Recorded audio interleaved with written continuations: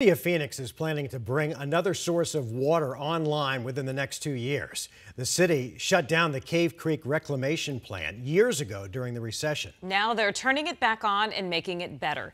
12 News journalist William Pitts was given a tour this morning.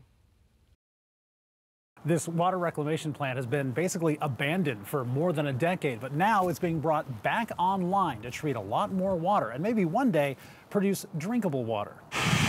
From a drip to eventually a deluge of water.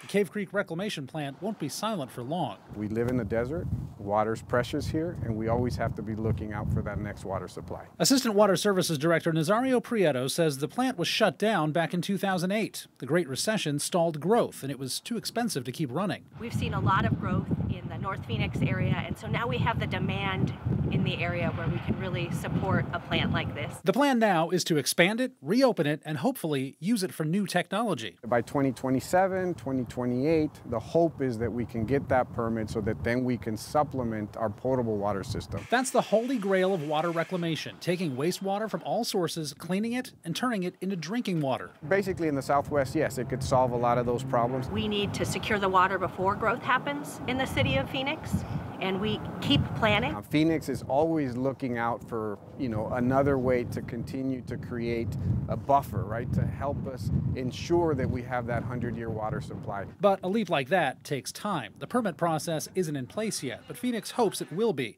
So the build out for the plant will include everything the city needs once they get the permit. Many other cities are moving in this direction. We all believe as utilities it's the responsible thing to do. In the meantime, the water that comes out of here will be used for irrigation and to replenish groundwater.